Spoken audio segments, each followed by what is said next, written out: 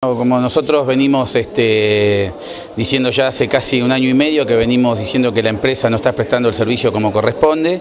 eh, ha sido multada en varias oportunidades eh, basado en los informes que nosotros hemos hecho desde la oposición.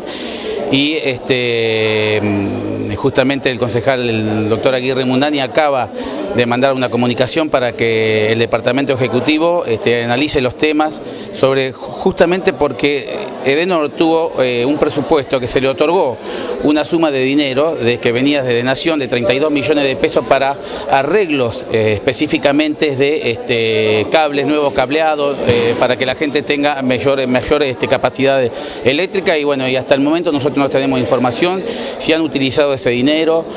si fue empleado o no, si han hecho los arreglos correspondientes, nosotros estimamos que no porque todos los días vemos este, la queja continuamente de la gente que viene a vernos a nosotros que salen en los, distintos medios. Y bueno, y es una empresa que directamente... Eh, está avasallando los derechos de los, este, de los ciudadanos, de los consumidores, porque es una empresa que es una multinacional que cobra eh, eh, elevados eh, montos de energía y, el dinero que recauda lo manda a la casa matriz y no hace lo que debería hacer, que son este, reinvertirlo en los cables, en las líneas subterráneas, cosa que nosotros creemos que es un momento propicio para que el Poder Ejecutivo tome las cartas como corresponde y se ponga al frente de los reclamos que venimos haciendo desde la oposición concejales en su conjunto aprobaron un proyecto para que desde el Ejecutivo se sancione a través del ENRE a la empresa, Edenor. Sí, sí, justamente, pero ya ha tenido varias, eh, varias este, multas y las ha pagado, pero evidentemente para la empresa le sale más barato pagar multa que este, darle el suministro que corresponde a, a la sociedad. Por eso queremos que el intendente, más allá de que el ENRE cobre las multas, que tome cartas en el asunto como a ponerse al frente de los reclamos para que de una vez por todas el ENRE eh, no solamente multe, sino que obligue a la empresa a, suministrar la energía que corresponde.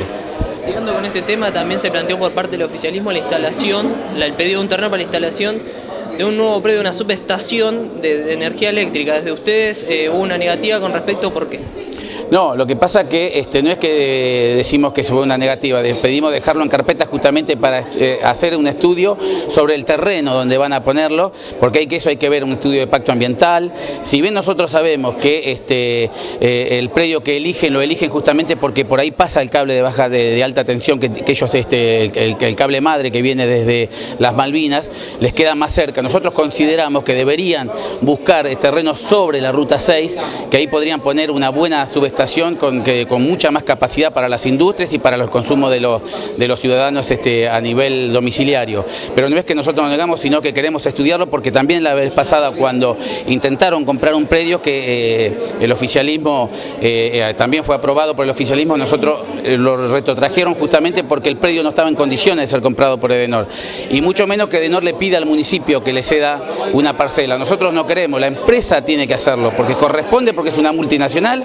que como nosotros venimos diciendo, como Telefónica, como Gasban, que son multinacionales que han hecho los contratos, los han, los han hecho en base a la empresa, digamos, para, el, que, para que el impor el dinero le quede a la empresa y no a los ciudadanos. Está hecho específicamente para las empresas. Entonces nosotros decimos que hay que rever todo eso. Así como se revió el contrato de, del ferrocarril, también se tiene que ver este tipo de empresas porque no puede ser que las empresas vengan, se lleven todo el dinero y lo manden a las casas matrices, a, este, a Europa, donde tienen las casas matrices, y que los ciudadanos acá sigamos este, sin tener un buen servicio, un buen suministro y todavía que el municipio pretende que el municipio le ceda terrenos para que ellos puedan poner la subestación. La subestación la tienen que poner para darle este, mejor servicio a la gente, pero tienen que buscar los lugares donde esté alejado y que puedan hacer una subestación como corresponde para dar energía a la industria y al, al suministro a los domiciliarios.